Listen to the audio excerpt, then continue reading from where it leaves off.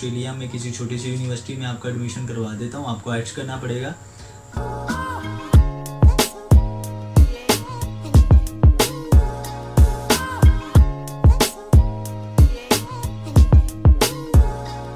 वालेकुम गाइस इस ब्लॉग्स पाकिस्तान गुजरात वाला से हूँ।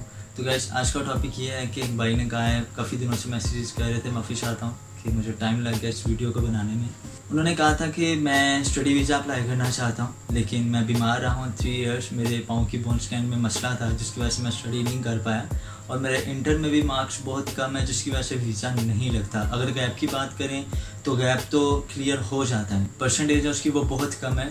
फोर्टी फोर परसेंट परसेंटेज है उसकी इंटर में।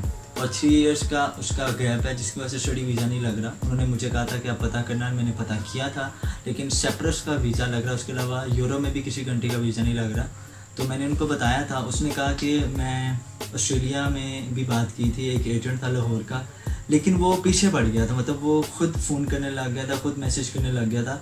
उसने कहा था कि आपको पचास हज़ार रुपया देना, मैं आपका काम शुरू करता हूँ ऑस्ट्रेलिया में किसी छोटी सी यूनिवर्सिटी में आपका एडमिशन करवा देता हूँ। आपको एड्स करना पड़ेगा। जितनी भी परसेंटेज या जितने भी मार्क्स हैं थ्री इयर्स का गैप है, वो सारा मेरी सर दर्द है, मैं क्लियर करवाऊँगा, वो आपकी हेडेक नहीं है। फ़ीस आपने खुद जमा करवानी है, लेकिन होता ये है कि उनके पास सब कुछ होता है ऑलरेडी कंप्यूटर में सेफ़ होता है। वो आपको झूठी रसीदें बना के दे देते हैं कि आपकी ये फ़ीस जमा हो चुकी है। अब बस आपका वीज़ा आने वाला आप स्टडी वीज़े के लिए जाने लगे हैं, बस मतलब कहानियाँ सुनाना शुरू कर देते हैं आपको।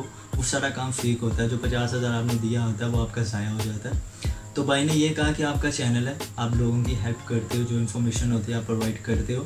तो लिहाजा ये भी इन्फॉर्मेशन मेरी दो, अगर कोई भाई ऐसा है जिसके पास कोई ऐसा बंदा है जो काम कर सकता है लाइक स्वीडन हो जाए स्पेन हो जाए जर्मन हो जाए, मेरे थ्री इयर्स का उसका गैप है फोर्टी फोर परसेंट उसके मार्क्स हैं इंटर में तो आइट्स वो कर लेगा अगर काम बन सकता है। तो उसने ऑस्ट्रेलिया के लिए भी किया था यूएसए के लिए भी किया था वो नहीं काम हुआ। मैं एक बंदे से जापान के लिए भी बात की थी, लेकिन उसने कहा, नहीं, काम नहीं हो सकता परसेंटेज बहुत कम है। ऐप का तो बंदा चलो कर लेता, कोई कोर्स ऐड कर लेता कि भाई इसने ये कोर्स किया, कोई रिपोर्टें जो उसकी, जो बीमार था, उसके बाद उसकी सारी रिपोर्टें हैं कि मैं बीमार था, उसके पाँव के बोन स्कैन में अभी भी प्रॉब्लम है, वो बिल्कुल ठीक तरह से ठीक नहीं हुआ।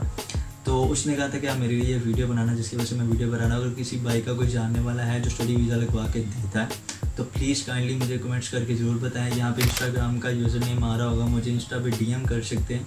यहाँ पे ईमेल एड्रेस आ रहा होगा, मुझे ईमेल कर सकते हैं। अगर किसी की हेल्प हो सकती है तो मैं नहीं करनी चाहिए।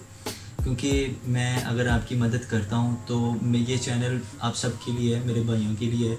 तो जो भाई, एक भाई ने और कहा है कि मेरा टर्की का वीज़ा लग गया, मैंने किस तरह लगवाया, मैं सबको बताना चाहता हूँ। तो आप मुझको ज़रूर वीडियो में ऐड करना तो वो भी इंशाल्लाह वीडियो जल्दी आएगी। उस भाई ने क्या कुछ किया, अगर आपकी समझ में आएगा तो आप कर लेना। मेरा ये मकसद नहीं है कि मैं फेम के लिए सब कुछ कर रहा हूँ वीडियोस बना रहा हूँ, ऐसा नहीं है। ये सब कुछ आपकी हेल्प के लिए है। मैं खुद को इतना माहिर समझता तो नहीं हूँ, लेकिन जितनी मेरे पास इन्फॉर्मेशन होती है, मैं आपको प्रोवाइड कर देता हूँ। तो आज की वीडियो का मकसद यही है कि अगर किसी के पास कोई ऐसा बंदा है स्टडी वीज़ा लगवा के देता हो, उसके फोर्टी फोर परसेंट मार्क्स हैं इंटर में थ्री ईयर्स का उसका गैप है, उसके पाँव के बोन स्कैन में अभी भी प्रॉब्लम है, उसके पास सारी रिपोर्टें हर चीज़ है।